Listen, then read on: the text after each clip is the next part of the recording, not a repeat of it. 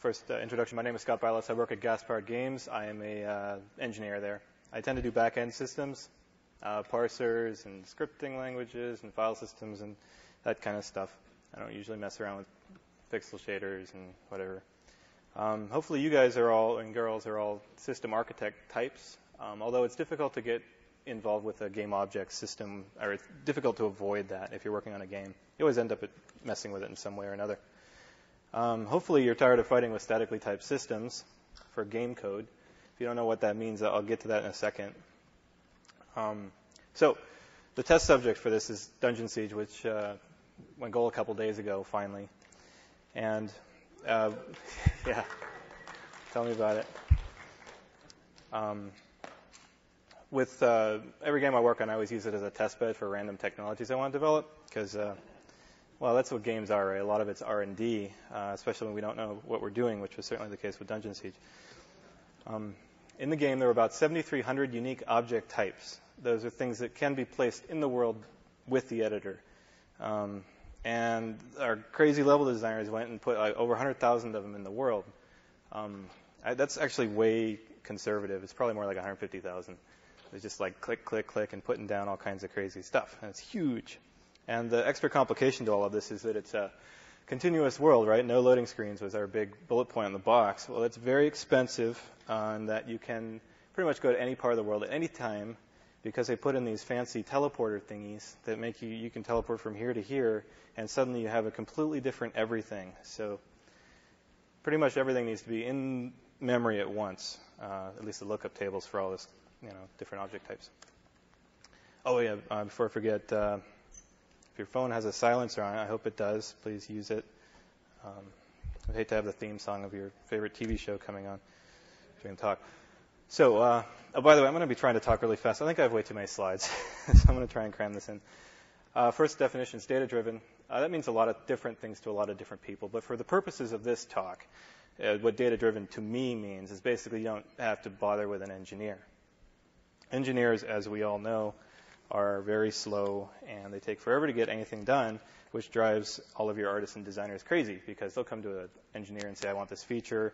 And he'll say, yeah, okay, it's on the list. And it's, you know, at the bottom beneath all the other stuff. And they'll end up just hacking around the problem.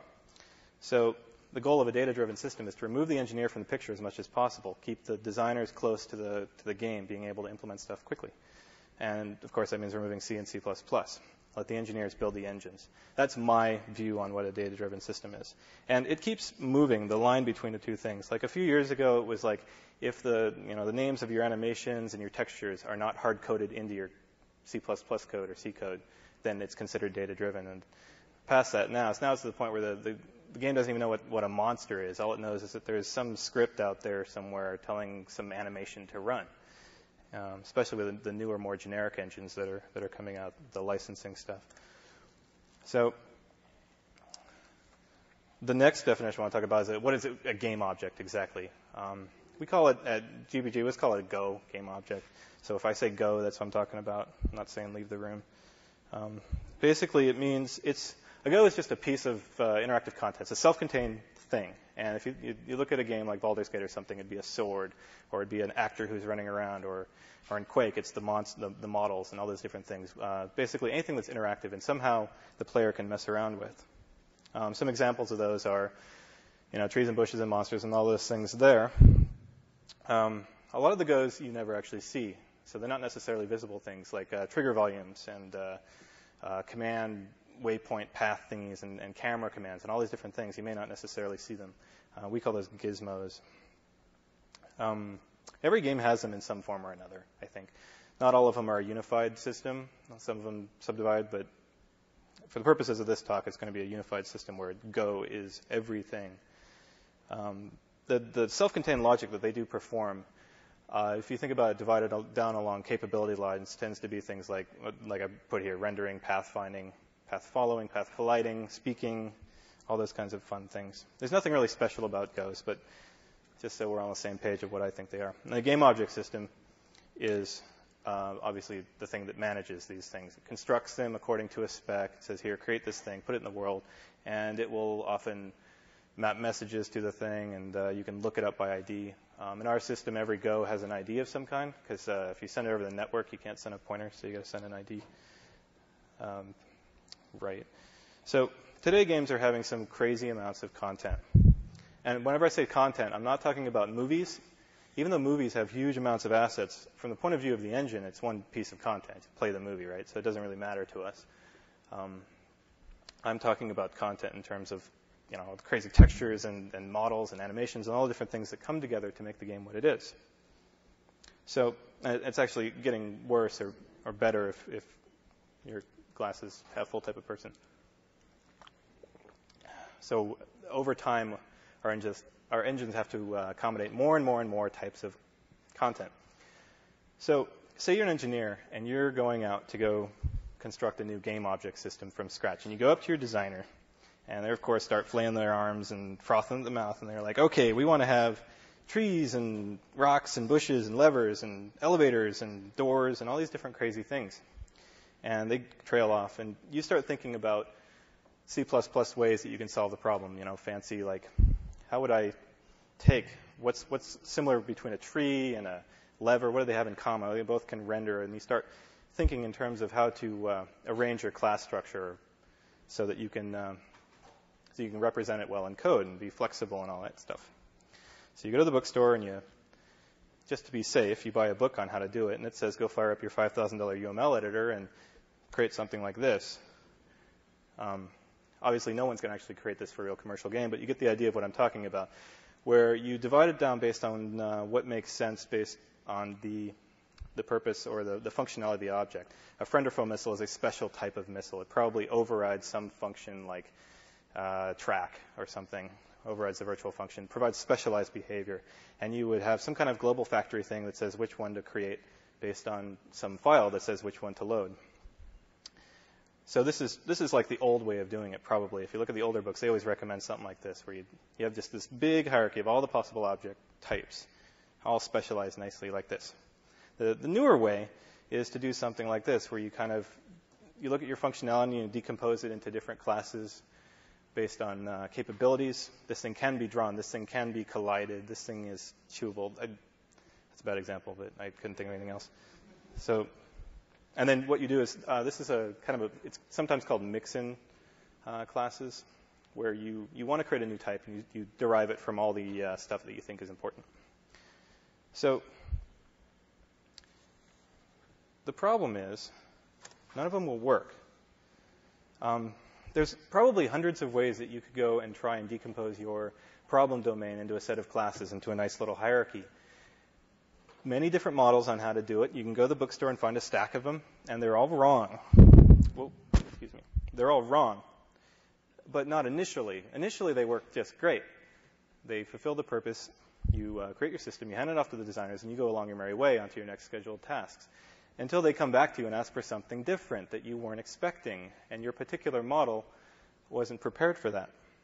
How many times have we read in, in postmortems um, where they'll talk about designs that were too ambitious and needed to be scaled back, or massive changes midstream, or the marketing guys wanted this, or they had to add this other thing to be competitive? Um, I, I, was just at a talk uh, a couple hours ago, Warren Spector gave, and he, he, he put up the perfect slide. I had to write this down because it so well represents what I'm trying to say here. He said, no matter how much planning you do, you still don't know what the game is going to, what game you're making until you actually make it. So given that fact, I mean, empirical fact, at least it's always been true of the games I've worked on, you're going to be running into change that your, uh, your carefully planned system isn't going to like very well. Your designer is going to come up to you one day and say, okay, that asteroid, we want to make an alien asteroid that can kind of heat seek, right? And then you start trying to figure out how you can derive this new heat seeking asteroid from these two different things, and then they want it to do something else, and it just it just doesn't work. Or in the case of Dungeon Siege, say you uh, you have all these static trees and they just sit there, and then one day the designers are like, wouldn't it be cool if they swayed in the wind? And you start thinking, wait a minute, there's static objects and the animatable ones over on this branch of the tree, and we could derive this common thing. It just doesn't work, right? Oh wait, did I cover that? Yeah, the the key point here is the designer doesn't really think about, they don't know about the engineering concerns. It's not, it's not in their head. So whenever they come up with some change they want, it doesn't really, they have no way of knowing that it destroys your whole type structure. Um, so just given, it's a lot easier. Just accept that there's going to be change and you have to deal with it. The closer your code ends up getting to the content, the more and more fuzzy it's going to end up being, the, the requirements of what the code is going to have to do. And the more often it's going to have to change, and you have to refactor your code to accommodate the changes that are required. And if you resist that, it's going to cause worse problems, the, the hacking around um, thing that I mentioned. So in software engineering, we are taught that you take the parts of the uh, system that vary and you abstract those. You take whatever's likely to change, like a blister on your foot, and you push it away from you, and you put up all these walls and stuff to protect you from whatever's going to be changing. And that's what the whole point of this uh, ISA architecture is, is all about. Is you can the change is if you happen to model it correctly, you can just add a new class into the tree. And the problem with that is uh, what I mentioned. If you get hit from a completely different angle that you weren't expecting, you abstracted the tree based on capability, and then someone comes along and they want to be able to extract, they want to be able to mix and match different pieces, and it's just not going to work. And the problem is not that we're no good at our jobs; it's that the language is very limiting. Um, C++ is actually not a very flexible language when it comes to that. Think about uh, it's called hardening. I've heard some people refer to it over time, your code just kind of gets stuck in a rut and you can't change it because you have all these other classes that are including this one thing they're deriving from it, or they're calling functions into there, or they're overriding a bunch of virtual functions. You can't just look at your tree and someone's decided they want to rearrange some capabilities. You can't just like re-derive it from something else, or you're going to have problems.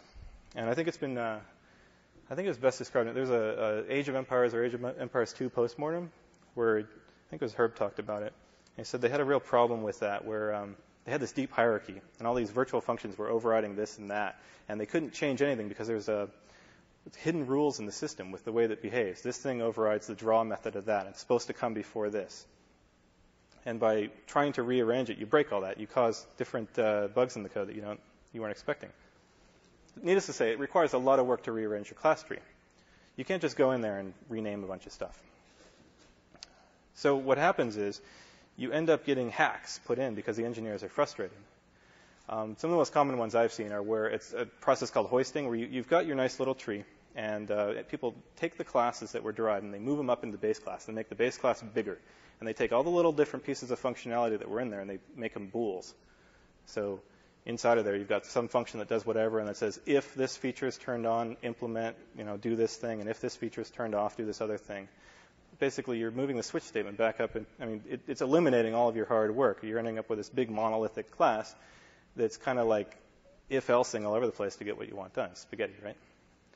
Um, the virtual override madness I talked about, um, and that stuff doesn't matter. So, what I'd like to do is step back a bit and re-examine the problem. This is actually a database that we're working on here, right?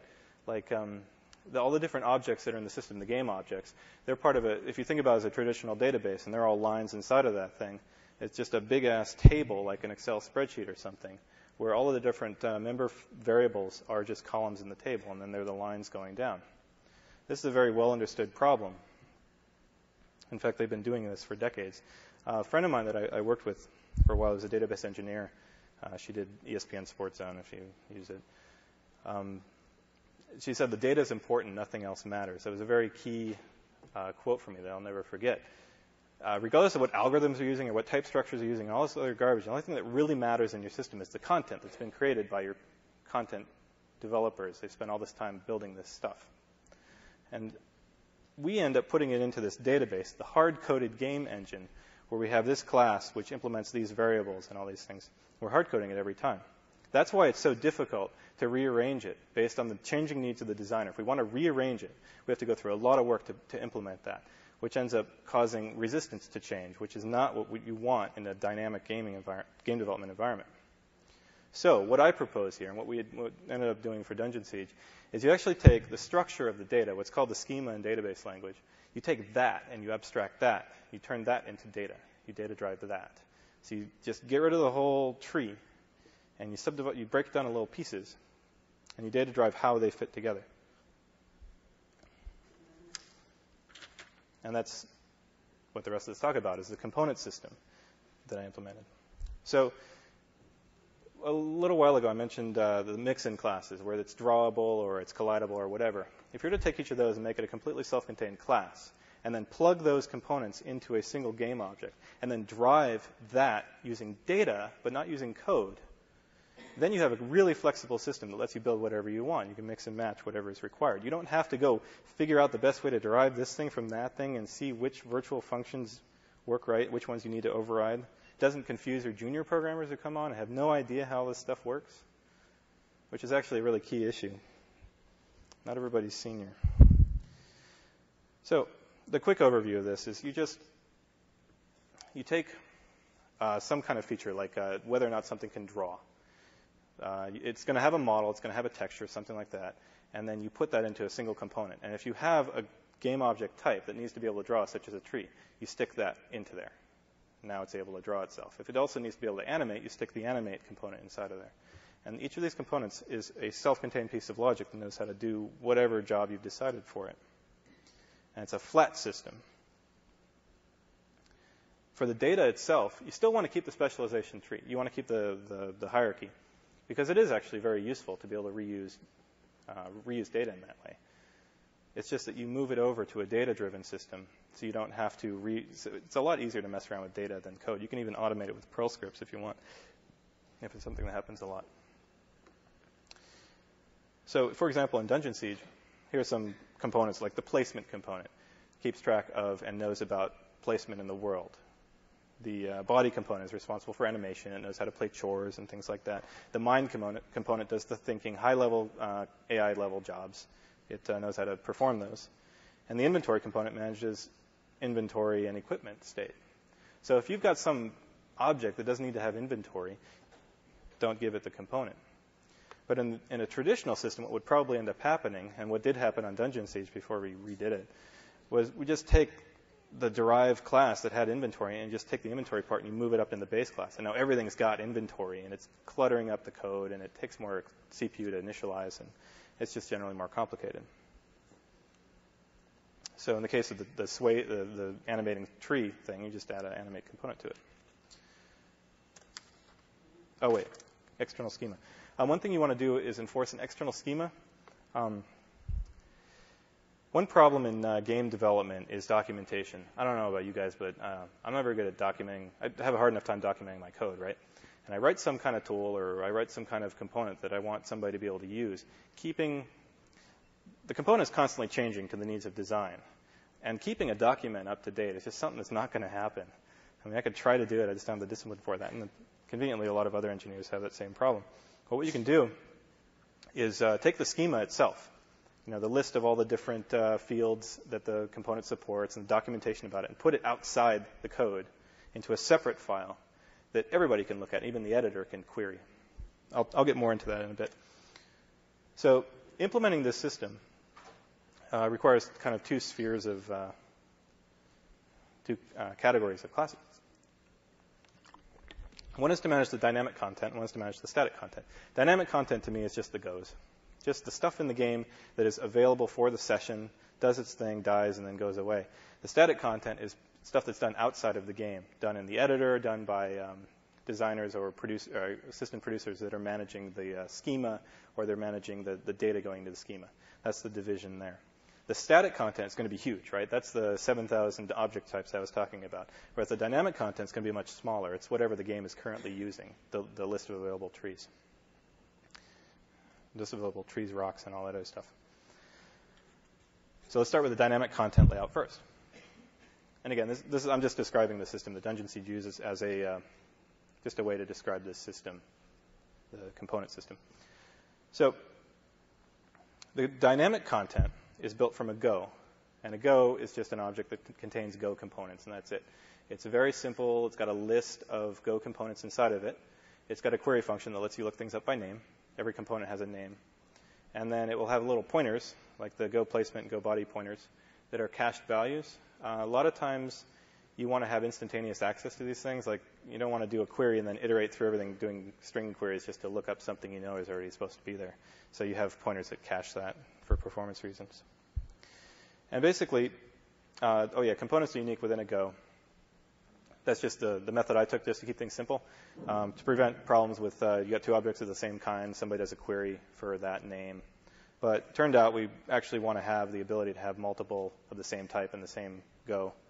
So I got to figure that out for the next game. But for simplicity, it's easiest just to make them all uniquely named. So it's just a list of components in the Go, and that's the whole thing. The Go is just a list of these things. Um, the Go does not have derivatives.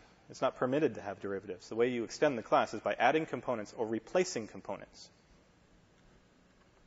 And the Go itself doesn't do much. It just uh, it owns its components. It manages the parent tree relationship. Uh, there's parent-child relationship among all the Go's, and it does some other miscellaneous stuff.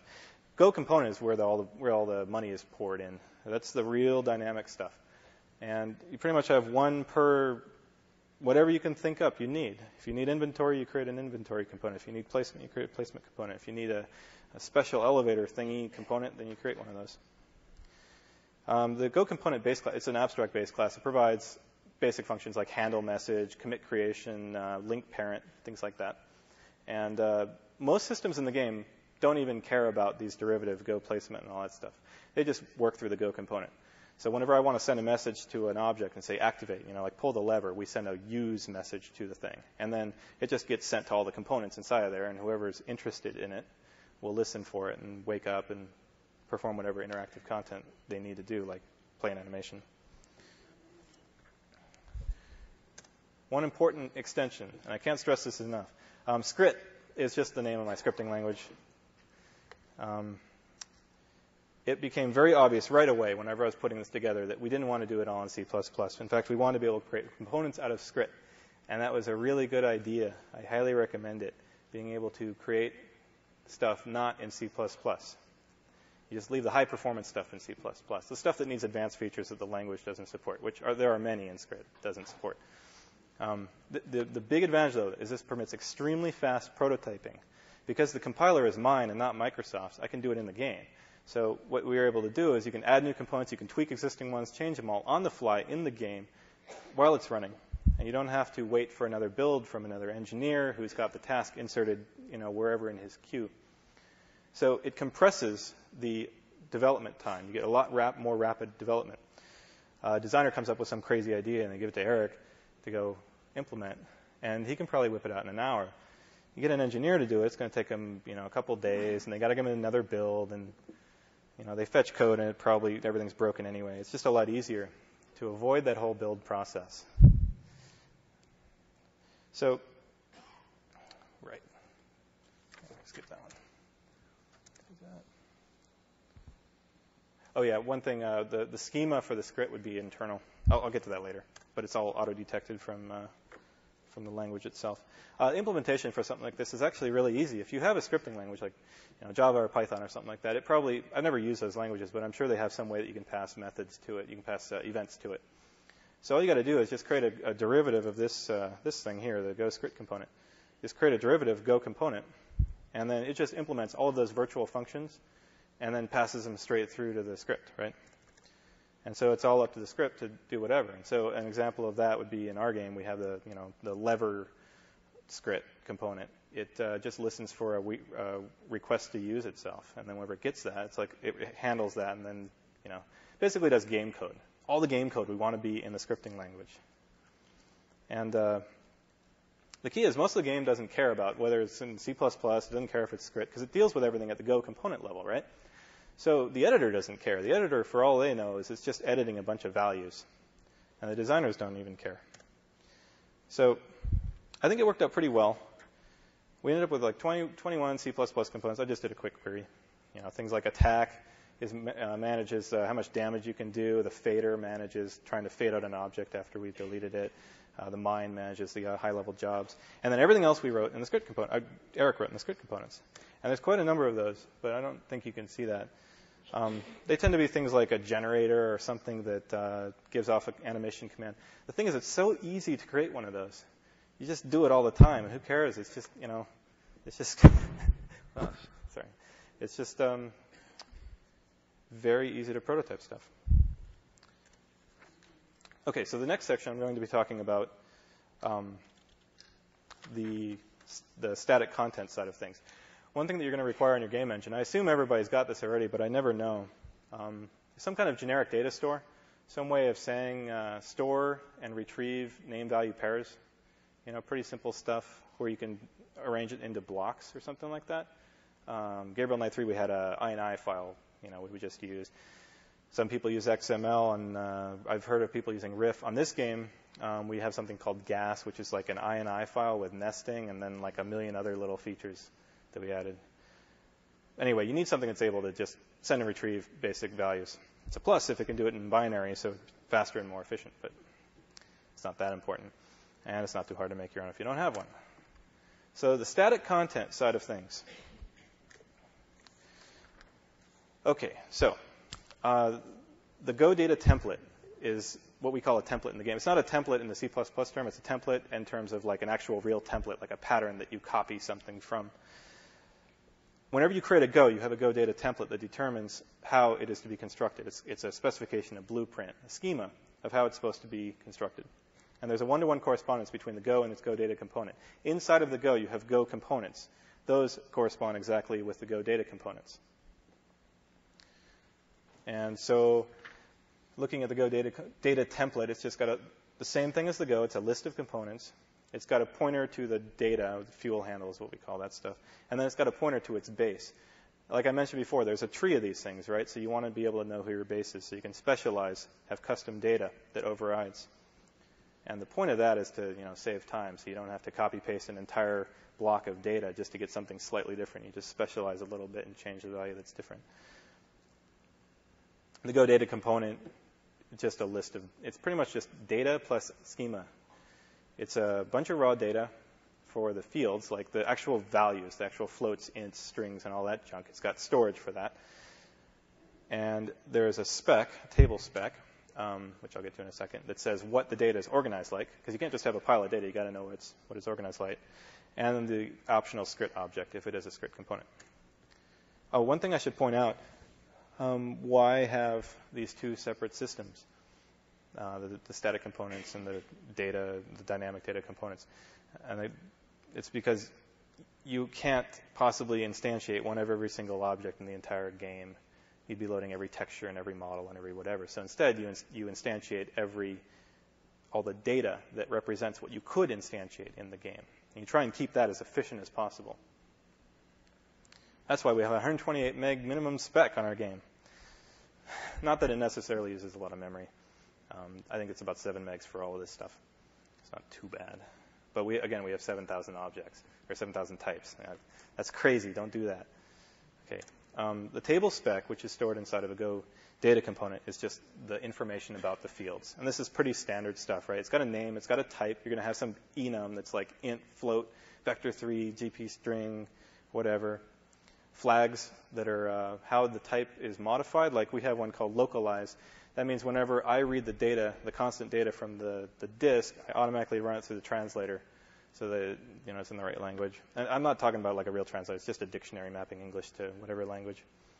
Um, a default value, most things have those set up, and then documentation. And again, everything's always got docs at all times, including the table spec, which has its own name and docs. Docs are very important that they are put directly into this stuff. Otherwise, it just won't happen. Geez, I gotta hurry up. Okay, so next we're going to talk, talk operation. If this seems a little confusing right now, I'm going to be getting to actual hard, you know, here's some text that shows how to, specif- how to specify this stuff very quickly. So, one second. The operation of the system.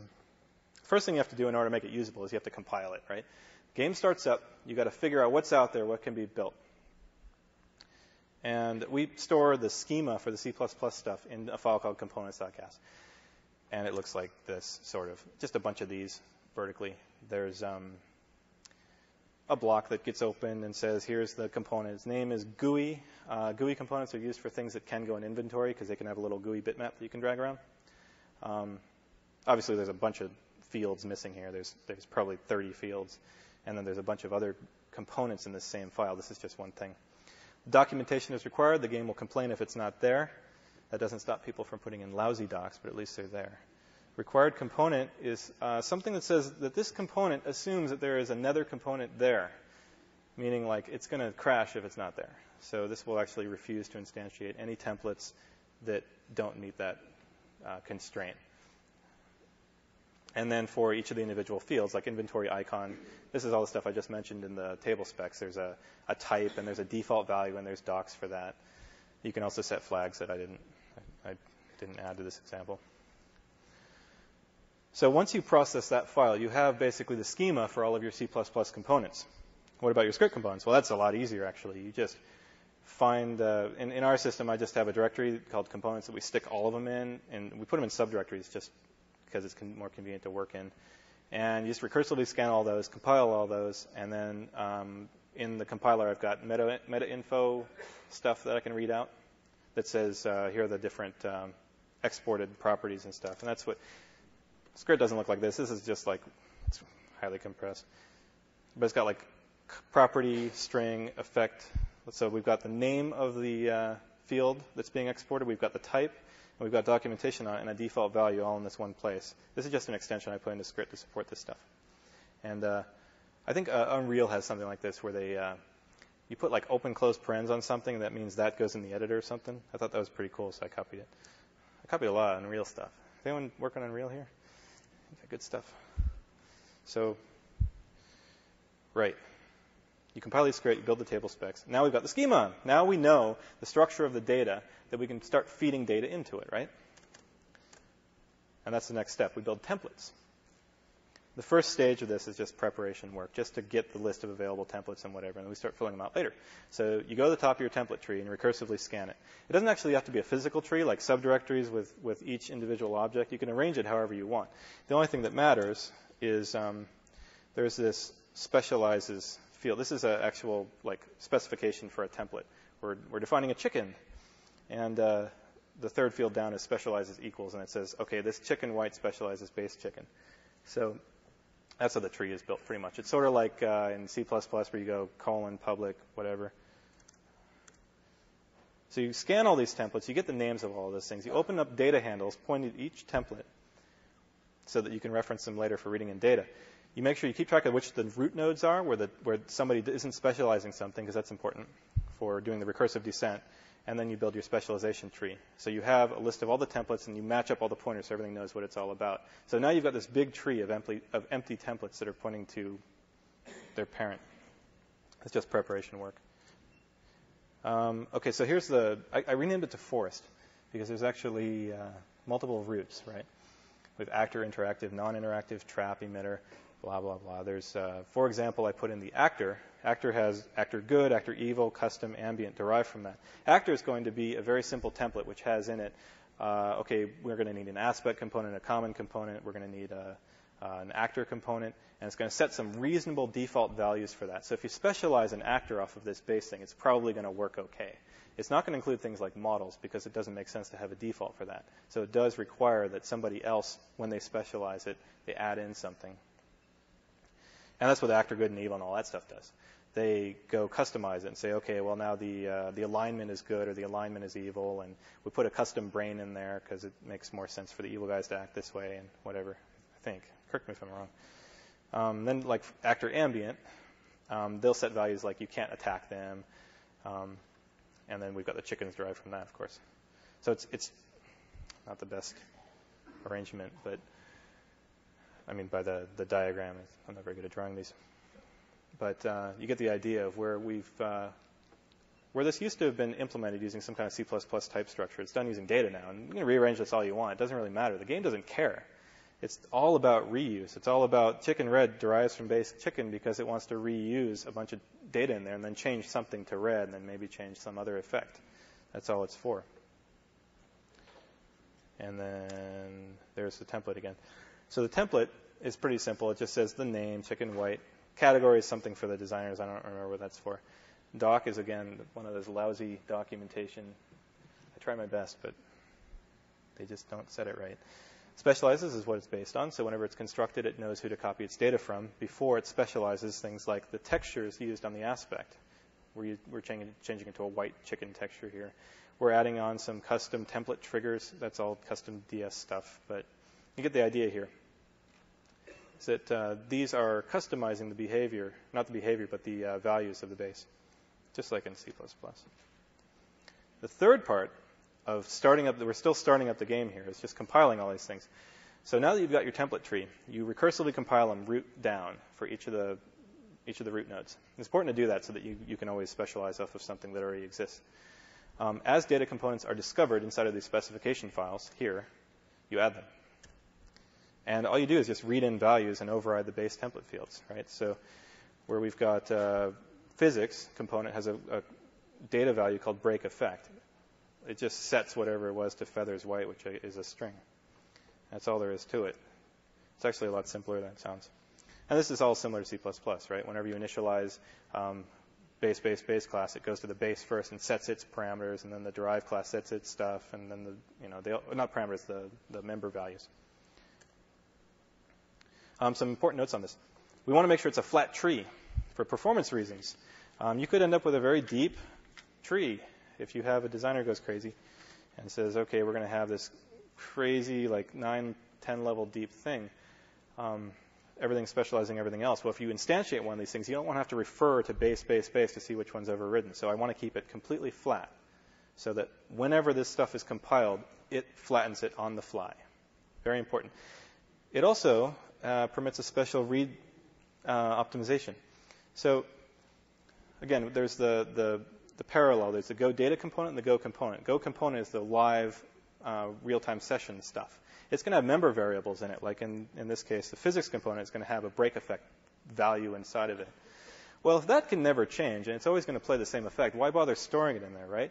If the component knows who its data component is, you can just take the get function on that component and just have it ask the data component what the value is. And since all the data components are shared among any instantiations of these things, you save the memory. You don't have to worry about initializing the value. You don't have to worry about persisting it in a save game. So it's good to flatten as much as possible. Uh, right. I also recommend copying on write for these things. This all depends on, on the quantity of these things, but we've got so many of these things in Dungeon Siege, I had to optimize a lot of stuff. In fact, I had to eliminate the entire lower, like the leaf level of the, of the trees, like the very bottom of the specialization tree. I had to get rid of that because there were so many of them. Nodes, there were about 500 of them, so that was okay to compile at startup. But on the fly, we'll compile the, the most leaf templates and then keep them in memory for a certain amount of time. Stuff I got to do. So, editor integration. This is almost trivial. It was so easy for me to put this in there because all the tools are already ready, right? The editor is probably going to have some kind of property sheet thing. They all got them. Unreal editors got one. Um, and it's a standard thing where you've got like the name of the object and the type and then the value that you type in, and then maybe a doc field or you hover over it and it gives a doc. So you have something like that in your editor, right?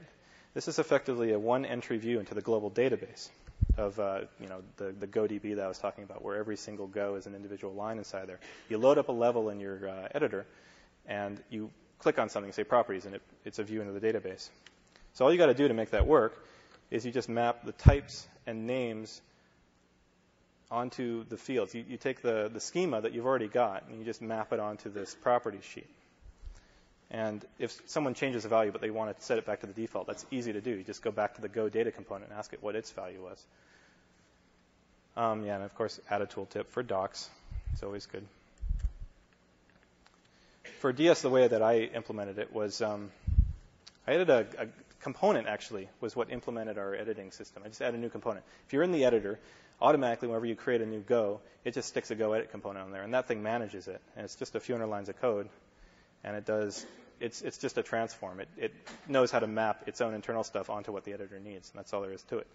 Um, double buffers so that you can do a cheap rollback. So whenever someone's editing something in the property dialog and they hit cancel because they don't want it, it just takes the one buffer copy that it had and sticks it over the existing, over the, the real one. And because all the data is kept, that's pretty far back, but all the data is kept in the Go data component as just like a big pile of raw data reverting to the unedited version as simple as just a memcopy, which is convenient. um, also, it, it, automates the saving um, because all you have to do is uh, you've got your constant data and you've got your real-time modified data in the editor. You just compare which ones are different, and then you save out the ones that are different into the instance file. That saves memory on the disk. Uh, permitting forest overrides. That doesn't matter. So here's an example instance specification. Whenever the editor, whenever Siege Editor um, saves out an object, it looks something like this. We've got the type is the chicken red. That's the name of the template.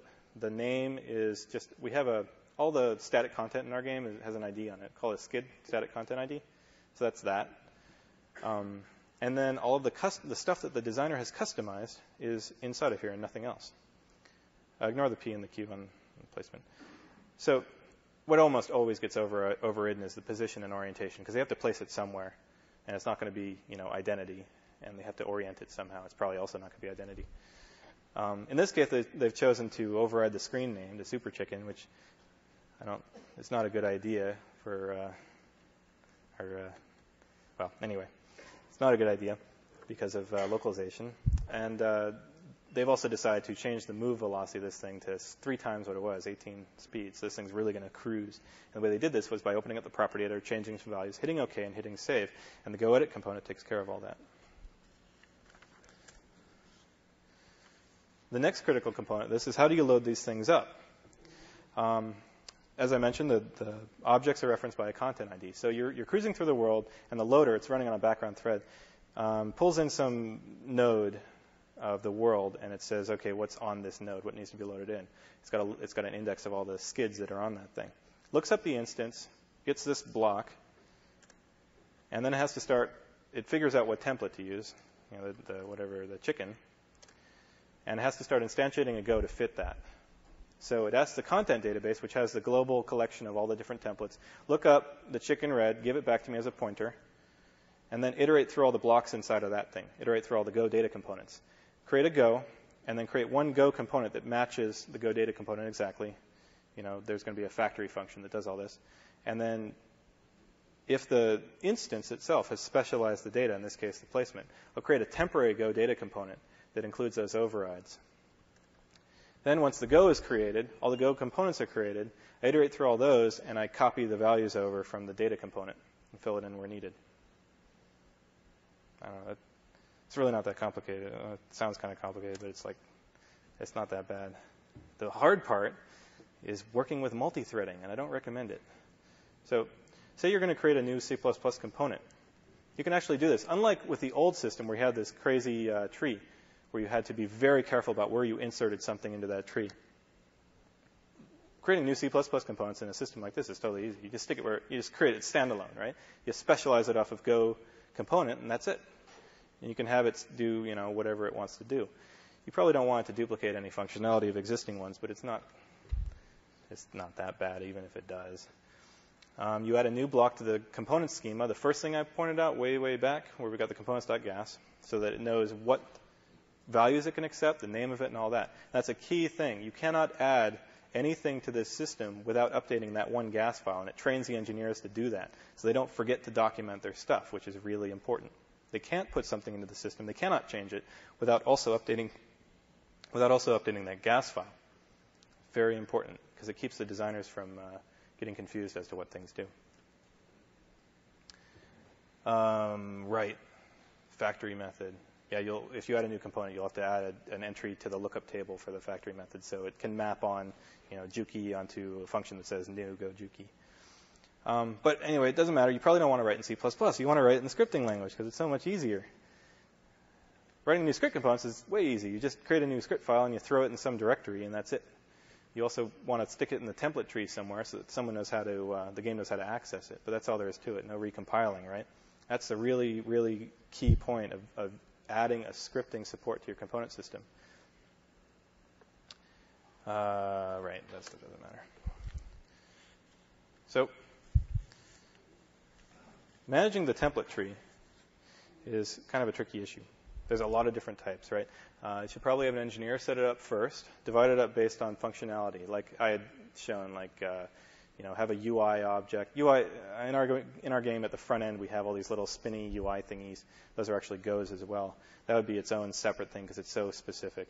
Actors are another one. Non-interactive things are another one. Interactive things are another one. You want to have an engineer set up the base skeleton uh, data template tree and then hand it off to uh, production assistants or whoever to maintain. Engineers need to be working on code and let the guys who are close to the content maintain the content. And pretty much anyone can maintain these things once they're set up properly. Every once in a while, you should go poke around and make sure they're not, you know, doing anything crazy, um, which they always are. Um, like data duplication is, is, a good example of that. Very frequently, they'll uh, they'll copy paste a bunch of stuff, and instead of putting the common stuff into the base template, they'll just leave it in the drive. And that doesn't really hurt anything except it costs more to maintain and it's more uh, bug prone and it uses more memory and whatever, but it's not that bad. I recommend adding one branch or one tree in the forest just for test templates. So they don't mess with any of the other stuff. So people don't start deriving uh, custom, you know, test underscore chicken um, off of the main chicken. Just have a completely separate tree that you can stick all that stuff into. Prefix it with some kind of dev underscore test underscore so it doesn't pollute the, you know, global namespace. And uh, we ended up with quite a few of those, 150. It's just, you know, someone will go, I wonder what, what, uh, I want to test out this new feature I'm adding to the game. So they'll create a little script component or whatever that tries it out, and they'll stick it in some directory, and then they'll add a, a test template just to try it out. And they always end up staying. But you can just, we have a, a feature in the, the, our, our gas thing that lets you mark something as development only. So whenever you compile the retail version of the resource file, it just strips them out. Oh, yeah, this stuff. So direct and automatic editor support, I did in fact mention that. Um, one cool thing though is designers construct, can construct their own types to place in the editor. Um, this is something that surprised me on Dungeon Siege. I wasn't expecting this. Um, whenever I wrote the system, I was expecting less than 100 different unique types, and we ended up with thousands. And part of the reason for that is that the designers don't really want to mess around with tweaking values that much, what they, at least on our game. They want to be able to just put stuff down as fast as possible because the world's so huge. So what they do is instead of having a ch- you know one chicken and then they customize a few color things about it, they'll go and create one for each color so that they can just find the uh, each of the colored chickens in their little uh, selection tree and then place those down one at a time. So we'll have two trees nearly identical except for the scale is different. One will be called Big Tree. so anyway, they were able to go and create all this stuff on their own. It, it didn't really mess with the game because they didn't they didn't do that many of them. But it was really cool because they were able to, it, on their own, they came up with a way to, to make themselves more efficient using our own existing tools, which I always love. Um, you can make global changes very easily. I don't know how other tools work, but something that I liked about this one is because uh, everything specializes off the template, even the instances. If you change something at the template level, it affects the entire game, which is uh, both good and bad depending on what you're working on. Obviously, if you make a far-reaching change that affect, you know, the sight range of monsters or something, it may affect performance that you weren't expecting. Um, and of course, reorganizing the template tree is easy. I think I already mentioned that, but rearranging all this stuff at will is a very powerful feature. And no, it doesn't matter. So I can't end this without talking about some of the pitfalls. And there are some pitfalls. For some reason, and I don't know if this is specific to the component system, I don't think it is, but the components end up becoming intertwined anyway. Um, the, some of the operations become order dependent. It's more convenient in this case because the, uh, the order, because it's not done using the compiler, it's done through our own code. Whenever I hand a message out to every single component, I do it in the order I want to do it in. I don't let some you know, virtual function override whatever determine that. So I can take that, I can put attach a priority to each component and abstract it out, and then sort by that. Um, so I think it's more manageable. But for some reason, a lot of our components became pretty intertwined. Like the, you can't have an actor without an, having an inventory because they just mess with each other all the time. Um, it's also a little too easy to add templates. We were actually auto-generating about 2,000 of ours using a Perl tool. Uh, Dungeon Siege has three different worlds. There's normal, elite, and veteran. And to generate the really, really hard levels, there's this Perl tool that goes and takes a bunch of stuff and basically copy paste it and replace a bunch of values in there. Um, we did that because we ran out of time, and that was the easiest way to do it. But man, it really hits the CPU if you do that. So sometimes the, the ease of adding new templates is actually a problem. One quote, one favorite quote of mine, I don't know where I got it from, but um, with power comes responsibility. With any system that lets you go and do crazy stuff in data, it is not something you should take lightly. Um, you want to watch very carefully to make sure that people are using your systems right. Because whenever something goes wrong, they probably won't know that it's going wrong, and they won't tell you about it, and you won't find out about it until it's already, you know, milestone time or whatever. It's very important that people understand the power of the tools and they use them um, in an efficient way. It's very easy to, uh, you know, if you data drive everything, you have to implement a lot of rules in your engine to go make sure that people are not typing in bad stuff, which I ended up doing, which isn't that bad, but you can never uh, look out for every possible thing that could go wrong. Um, one thing I wanted to talk about the future a little bit before I wrap up. The schema is actually very extensible, right? It's just a class that has a list of objects in it, like name and type and flags and that stuff I mentioned. Well, another thing you can put in there is maybe make the default value scriptable. This is something that I planned to do but never got around to. If the default value was actually a piece of script code, then on the fly you could run the script and determine what the actual value ends up as. So I, I had intended to use this to slightly vary the uh, the uh, si- the scales and the colors of the monsters so they look a little bit different. So every time it would start up, it would run a little piece of script code that would just run a little random thing. And that was something that would just actually go into the data and wouldn't be something the code has to mess with. Just an idea. Another thing you can do is add constraints. This is something that databases actually have, is they have constraints. In order to put something into the system, it has to pass the constraints, such as an integer has to, between these, has to be between these two values. Or this is a color, meaning that it has to be an RGB. Well, one thing you can do is if you know the constraint, you can actually add interface to this, the editor for that. So if you know it's a color, you can bring up a color chooser. If you know that it's a value between 1 and 100, you can bring up a little slider that they can mess with. If you know that it is the name of an effect that can run, you can bring up a list box, right? And they don't have to be typing in stuff manually. You can auto-detect all that stuff completely from data. Well, that wraps it up, I guess. Didn't have a con- conclusion. Um, my website will soon. I just finished this talk, so whenever I get back home, I'm going to upload this to my website. Thank you all for coming. Does anyone have any questions in the back? Can you talk a little bit about the uh, sort of memory layout of your uh, underlying code DB and whether you need to worry about fragmentation or? It's a PC. We don't care about fragmentation. I mean, really, like I know the the PlayStation and stuff have to worry about it, but on a PC, never never has I've never run into a problem with it. Um, it's it's not very efficient, probably, to answer your question, but we never noticed. Our, our problems come from uh, AI queries all the time, or too many effects, or whatever. We never notice that stuff. Uh, in the back. Have you done any uh, high-level, like macro-level optimizations so that you're you're sending objects like a an on-move, on-move, and a post-move message while they contribute to that message that they don't have something somewhere in their tree to answer to?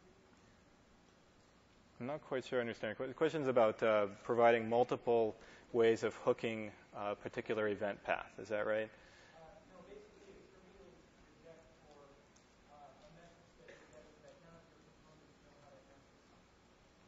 Oh, if, it, if a component receive, or if uh, Go receives something that none of the components know how to answer, it just ignores it. Does that answer your question? Yep. Yeah, it does have to search to ignore, but it's never showed up on the profiler, so I didn't really look into it. Um, over there.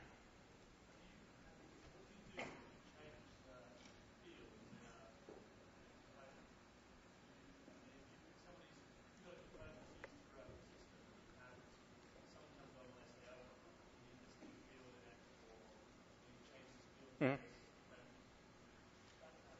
Right. Right. The question is about what happens if you change a field, change its type, change its name, change its whatever. Um, well, actually, this the system's kind of self-healing because what you can do is whenever the game loads it up, whenever, whenever the editor loads up a map and those values aren't set, it just sets it to the default. Whenever it saves it out, it eliminates. Like if you remove the old one, it just gets rid of it, right? It's kind of like if it doesn't know about it, then it doesn't bother to load or save it. So it, it kind of heals itself. And we've done that a number of times where we've changed something or whatever, and then the, edit- the designers have to go through all the regions and resave them to clean it out. But the system doesn't really care if there's if there's crud left over. Although I don't like it because it takes up memory. Over there.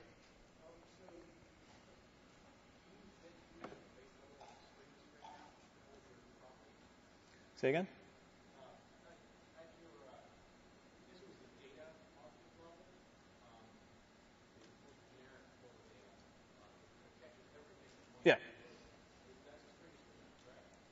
Okay. The question's about uh, what what form of what's my storage method for the data. Yeah. Um, I actually found the easiest way to do it is just to have two vectors, one with bits in it or bytes in it, and one with uh, strings. And so anything that I detect as a as a actually enums are stored as bits. So really, uh, if it's a, if basically if it's a binary object, I store it uh, you know directly as binary, and if it's a string, then I store it as an entry in the string list. And then an external structure says which maps onto what. There's like a you know the name. You look up the name based on the name of the column, and then it has an index of which storage unit it is. So it's either going to be the the, the, the generic store of bits, or it's going to be the uh, the string store. Actually, there's two string stores because there's Unicode too. We've got string Unicode strings, and then it has the index within that. So it's not really maps. I, I try to avoid maps whenever I can um, for short length um, things like arrays less than 10 objects inside of there. It's not it's not any faster, and it just eats up more heap. Over there. Why don't I use XML? Because uh, this was the this our existing gas system was there before I, I started. I do intend to switch to XML because then we can actually use the real editors and all that, all the you know the millions of tools that people have developed. XML kicks ass. Although we're still going to have to custom code our own you know loading and unloading dynamically and binary compile stuff just to make it compatible. Anyone have anything? Yeah.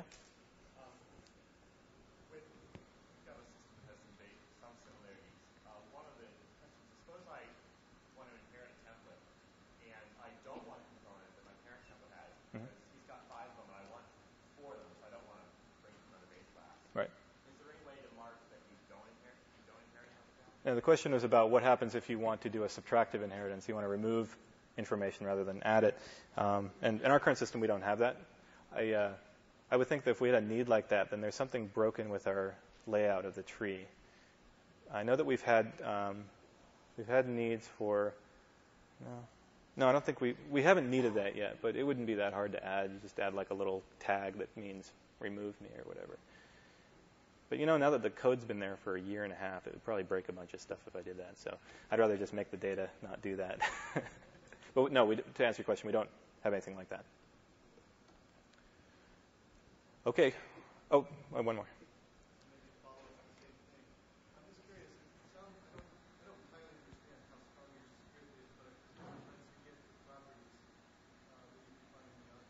Mm-hmm.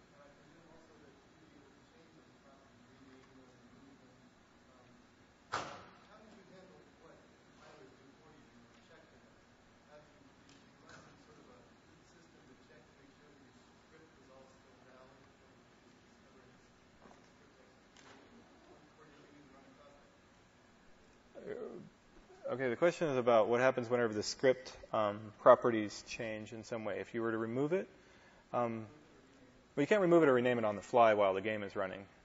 Um, so it would have to be outside of that. You're talking about the data. Well, you, you, actually can do that, but we reload everything anyway, so it's fixed up. But you're talking about what the, the data that's been saved out by the editor.